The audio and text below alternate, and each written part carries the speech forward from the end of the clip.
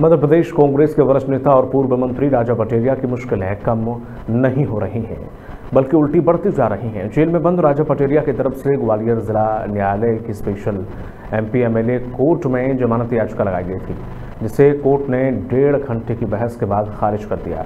राजा पटेरिया की तरफ़ से पूर्व महाधिवक्ता राजीव शर्मा ने दलील दी थी कि आज दिन से राजा पटेरिया को झूठे मामले में न्यायिक हिरासत में रखा गया है, जबकि जो वीडियो प्रसारित हुआ है, वह पूरा वीडियो नहीं है।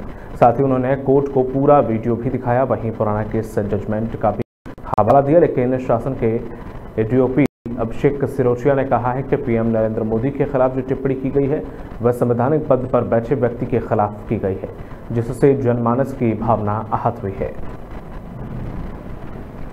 आदिवासियों को और अल्पसंख्यकों का भावी जीवन खतरे में है।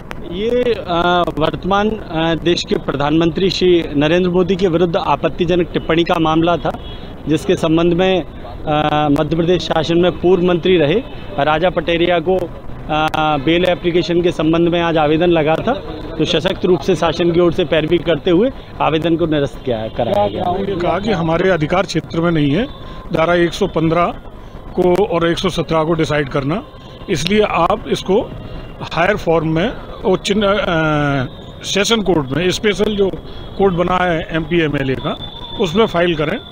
तो चूँकि बाईपास नहीं कर सकते थे, इसलिए मजिस्ट्रेट के आवेदन पहले प्रस्तुत करना आवश्यक होता है। इसलिए वहाँ किया, अब वहाँ के बाद अभी हमने स्पेशल कोर्ट में मजिस्ट्रेट के ऑर्डर के अगेंस्ट में जमानत का आवेदन प्रस्तुत कर दिया है, जिसकी कल सुनवाई होनी है